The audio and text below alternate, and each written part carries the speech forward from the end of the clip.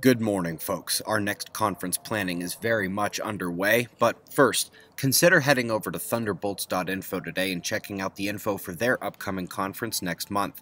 I'll be speaking along with many of the well known new Electric Universe enthusiasts. We've also got the Mars Space Weather Report today from Dr. August Dunning coming at the end of the video, so stick around for that.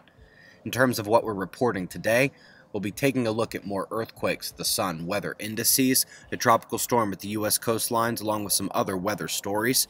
We're going to come first to spaceweathernews.com, however, and check out the last day on our star in 193 angstroms. Two tiny surface surges. That's about it. We have one calm star. This, of course, includes the solar flaring remaining down in the dumps as the sunspot situation is not exactly proliferative of flaring. We're almost blank. Solar wind shows the speed has peaked in yellow and is now coming back down.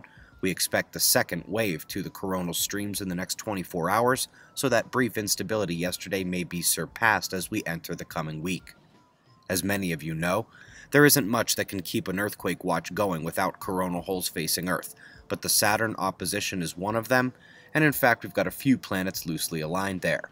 Fiji's already taken two large quakes, and a seven pointer struck the South Atlantic yesterday morning. It'd be nice to get a couple days of calm here, but I'm already looking ahead to the coronal hole on the left. We'll swing in to face Earth when Saturn comes into position in less than a week. How's this for extreme weather? Two lightning strikes in France and Germany have sent dozens of people to the hospital, one allegedly during clearer skies. Unfortunately, it appears they will have some more storms rumbling over the continent today, so just be careful out there across the pond different kind of worry at the U.S. East Coast. It's looking like the flooding won't be as bad as Joaquin last year, but we're still looking at major rainfall through at least Tuesday, multiple band events bringing rain further up the coastline as well. Not only do we have alerts there tonight, but it looks like more flooding is on deck in Texas where heavy rains are expected again tonight. Down under the lows continue reaching up to the landmass, but hopefully that big one is going to begin departing New Zealand here soon. We had our weekly podcast come out yesterday under Fly on the Wall.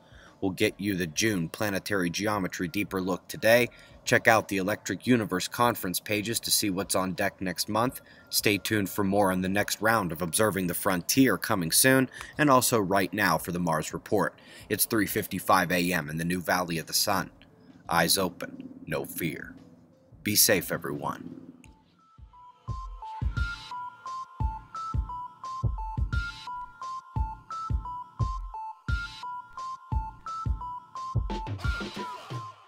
It's time for the weekly Mars weather review on suspicious observers. Over the last week, density and pressure waves that passed on the 16th and 17th gave way to a three day period of high velocity solar wind particle impact to the Martian atmosphere. Mars has no protective geomagnetic field, and the effects were felt significantly at the mid latitude regions where ultraviolet heating lifts evaporated water vapor aloft, forming clouds in the mesosphere that are then lifted higher during the solar tidal heating on the sun side atmosphere expansion daily and disassociated at high altitude into gases by the impact of a solar wind and ultimately lost to space. This coordinated attack on the Martian environment is seen in the annual density, pressure, and velocity records for the period mapped against the solar wind at Mars record, has a spike in density of 3 particles per cubic centimeter in orange and temperatures of 400,000 Kelvin in red. As a conversion, that's 719,000 degrees Fahrenheit. This fell off and gave way to an extended period of high velocity solar wind at 600 kilometers per second. The best way to comprehend this information with regards to weather on Mars is to match the Mars Reconnaissance Orbiter images to the energetic particle records. In the Syrtis Major region, cloud cover that existed on the 16th is reduced dramatically by solar pressure and particle impacts on the 17th through the 20th, while the extended solar wind velocity bombardment left the atmosphere clear over the period.